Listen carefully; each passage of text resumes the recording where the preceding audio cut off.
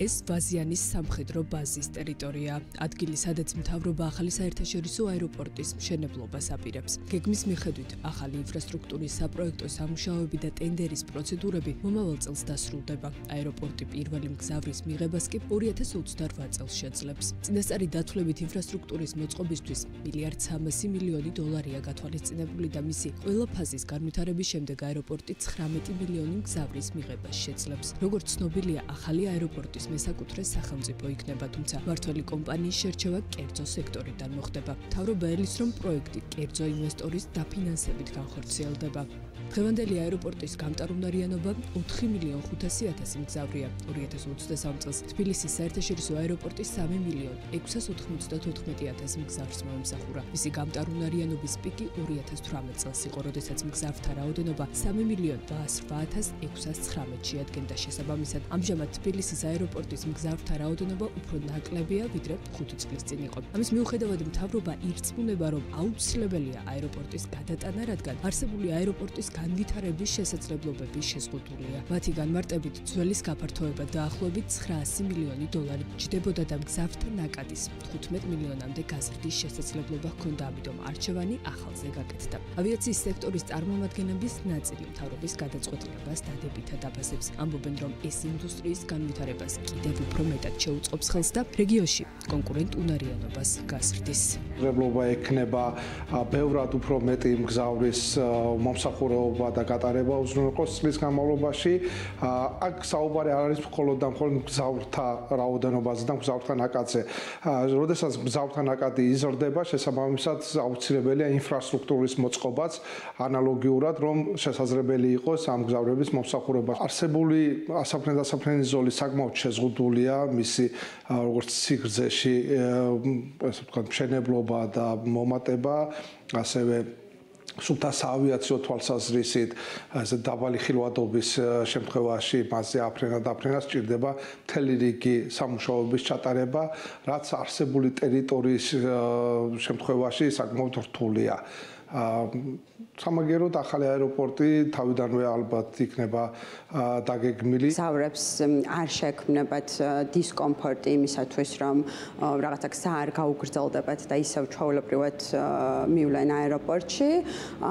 ეს აეროპორტი იქიდან გამომდინარე, რომ იქნება ძალიან მასშტაბური, დაეხმარება ჩვენს ქვეყანას, რომ მიიღოს უფრო მეტი ვიზიტორი და რომ ჩვენი ქვეყანა გახდეს ჰაბი ამ რეგიონში. მათ რადგან განსხვავებით ბიზნესის ნაწილი რელევანტურად ძველის გაფართოებას მიიჩნევს. გიორ ჯორჯიას დამფუძნებლისთვის გიორგი კოდუასთვის გაუგებარია, რატომ შენდება 19 მილიონ ვიზიტორზე გათვლილი აეროპორტი მაშინ, როცა ამის აშკარა საჭიროება გამოკვეთილი არ არის. ამბობს, რომ აღნიშნული პროექტი პოლიტიკურად უფრო დატვირთულია, ვიდრე ეკონომიკურად. მისი თქმით, ეს გაზრდის დამატებით ხარჯებს მათ შორის აეროპორტისკენ მიმავალი გზის მოწყობაზეც.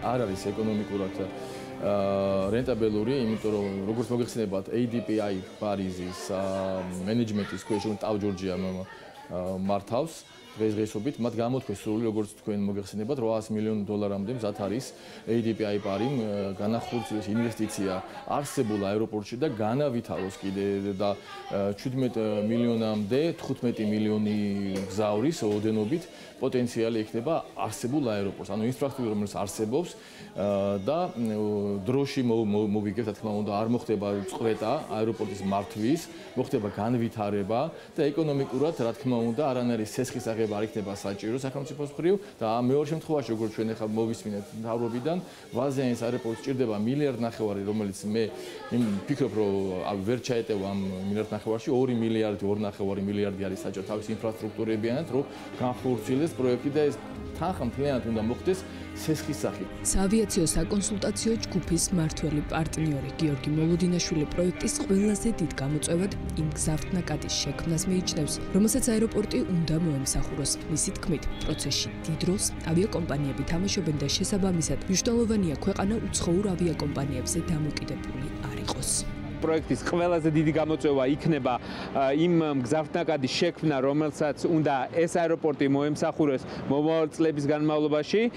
ძალიან ბევრი აეროპორტი გვინახავს, რომ შექმნილა, თუმცა ამ აეროპორტში, ამა თუ იმ აეროპორტში გადამწყვეტ მნიშვნელობას თამაშობენ ავიაკომპანიები, რომელიც რეალურად ქმნიან გზავნაკადს. მე არაერთხელ მithქვავს და კიდე გავიმეორებ, რომ ჩვენ არ უნდა ვიყოთ დამოკიდებული უცხოურ ავიაკომპანიებზე და ჩვენ რა თქმა უნდა ამაში ცუდი არაფერი არ არის რა თქმა უნდა რომ ყავდეს და ოპერირებდეს უცხოური ავიაკომპანიები ქვეყანაში მაგრამ აქ აუცილებელია რომ ჩვენ ვიფიქროთ სტრატეგიულ განვითარებაზე.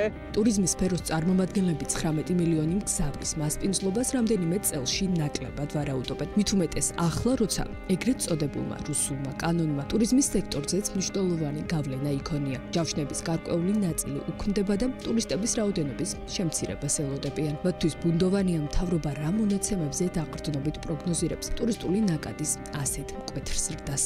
არანაირი ღრმა კვლევა არ არსებობს, სადაც დათვლილი იქნება, ვისთვის არის, საიდან შემოვა, რომელი მიზნობრივი ბაზრები, სადაც წარმოუდგენელ ციფრებზე ლაპარაკობენ და ნუ მეღიმება იმაზე, რომ 2050 წელს უკვე რაღაცა მილიონობით ადამიანი უნდა შემოვიდეს ქვეყანაში, როდესაც ჩვენ ეხლა არ გვაქვს ტურიზმის სტრატეგია, რომელსაც სახელმწიფო არასაჯაროებს საქართველოს მოსახლეობაზე ხუჯერ უფრო მეტია.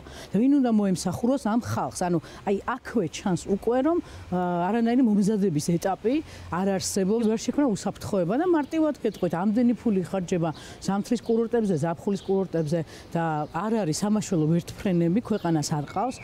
თუ ყავს ერთი ყავს და ისიც გაურკვეველია სად არის თბილისის საერთაშორისო აეროპორტიდან ვაზიანის ახალ აეროპორტამდე ვისვლა დაახლოებით 16.5 კილომეტრით დაგრძელდება. ავტომობილის ამ მანძილით გავლა Google-ის შეფასებით 24 წუთში არის შესაძლებელი. თავრობის გათვლებით ახალი აეროპორტის მშენებლობა სერიოზული ეკონომიკური ეფექტი ექნება. ყოველწლიურად ეკონომიკური ზრდის მატებას 0.2%-ული პუნქტით ელიან და ვარაუდობენ, რომ ის გახდება პირველი დასაქმების წერტილი რუსთავის მოსახლეობისთვის. ჯერჯერობით უცნობია რა საკონცესიო პირობებით გამოცხადდება ახალი აეროპორტის მშენებლობის ტენდერი. რაც შეეხება ამ დროისთვის მოქმედ აეროპორტს, ვაზიანში გადატანის შემდეგ ის ფუნქციონირებას შეწყვეტს. როგორც ეკონომიკისა და მდგრადი განვითარების სამინისტროში განგვიმარტეს, ჩატარდება კვლევა იმის დასადგენად, თუ აღნიშნული ტერიტორიის რა მიმართულებით განვითარება იქნება საინვესტიციო და ეკონომიკური თვალსაზრისით მეტად მომგებიანი.